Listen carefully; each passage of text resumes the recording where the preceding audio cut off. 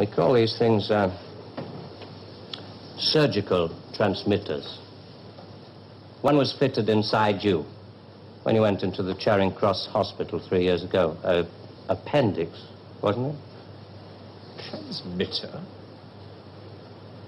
Are you trying to tell me that you listen to every word I say? A machine does. Untouched by human hand. There's a little gadget in these things that ties up with the pulse rate. Puts a bleep onto anything that you're excited about saying. Can you hear your heart beating?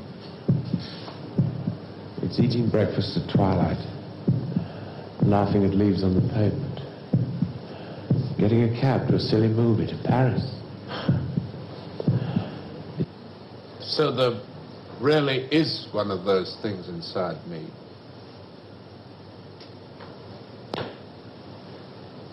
What do you want? We want people with low power quotients. We want them to work for us. Nothing more sinister than that. All this just to offer me a job. Special sort of job. The newspapers talk about the corridors of power, the, the power elite. Let's just say we'd like you to join the club. Oh. There's a vacancy in our newsreel department. We'd like you to help plan the news for 1973. News requires imagination. News requires responsibility. We think you're well qualified. Please. We've only roughed out the news for 1973. Nothing's been given the go-ahead yet, but this, uh, this is the kind of thing we have in mind. Today, April 14, 1973. First historic pictures by Radstar of the combined U.S.-Russian landing on the moon. Shown here are Majors Webb and Mikhailovich taking their first steps into the unknown, firing their retro rockets to land their spacecraft on the dust-covered surface. June the 22nd, 1973. The State Department releases film of the ultimate weapon, codenamed Icarus. September the 5th, 1973. A new phase in global warfare. War by example. At 4.32 our time, China took out the remote Indian border village of Bandor, unprotected by the Icarus network. This is going to happen in 1973, you're going to make this happen? No. We're going to make models, much cheaper. Then we photograph the models. Fake newsreels? That's fake newsreels. For the past 10 years, people have been looking at our fake newsreels and listening to our fake commentaries. And they accept it for the truth? And you can do it stop 100 people in the street, how many of them have actually seen a missile or a satellite? They're, they're just told they exist and they believe it. Yes, you're getting there. I knew you would. Yes. You can do it. This could be the news for 1973? Not necessarily uh, exactly like this. We only plan in detail one year ahead. We are very serious about you. There are things about you we like very much. Qualities you have to offer. Scare an ostrich, buries its head in the sand.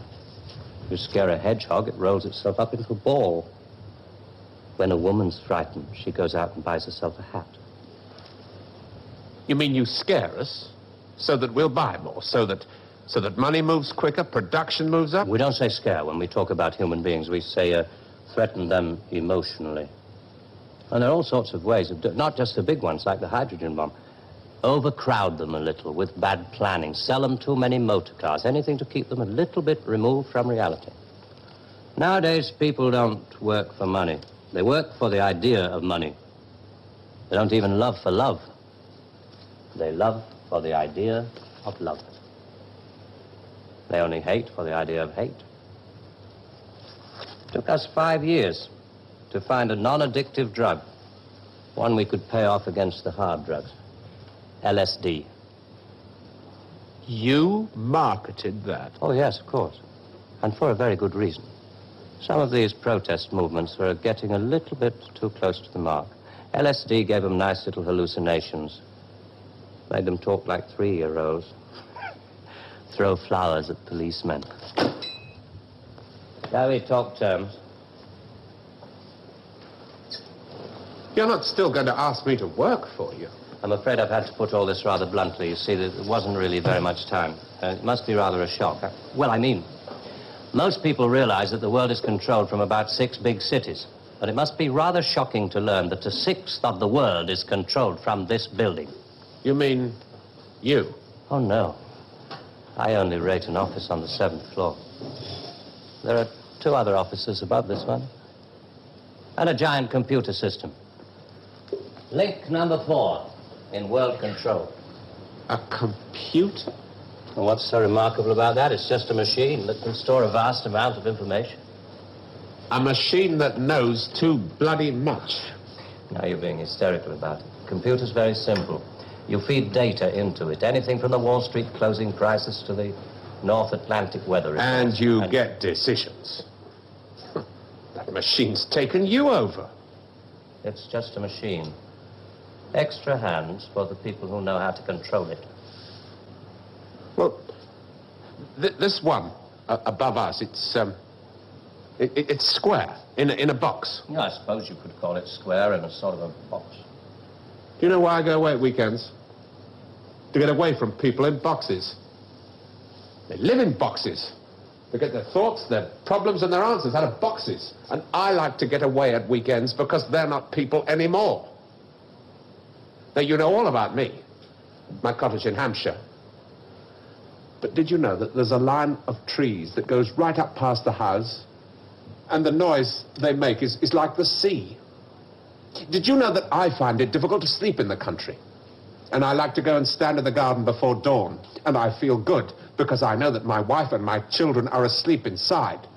And I like to go out and walk past the wet hedgerows until I can see pasture land and, and the smoke from the cottages in the village. This may be all very well for one of your grassroots programs, but I'm afraid time is running out. I ought to tell you, we pay a great deal of money. We can afford to. We save such a lot on things like the national defense budget, and so on. We would start you off at a quarter of a million pounds a year. Oh. Rising to a million when you make the Ministry of Morality, which I know you will. Will you let me out of here? One little point. I should have told you about these uh, surgical transmitters.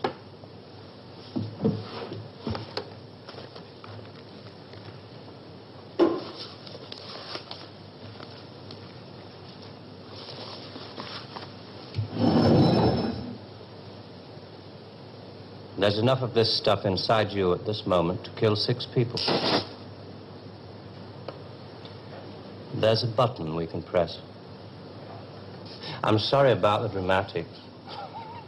Our boys call these things the oral contraceptive. Keeps them from talking too much. So there must be one of those transmitters inside you. Who presses the button? Extra hands. All this stuff about the computer being extra hands for the men know how to control it. That machine controls you.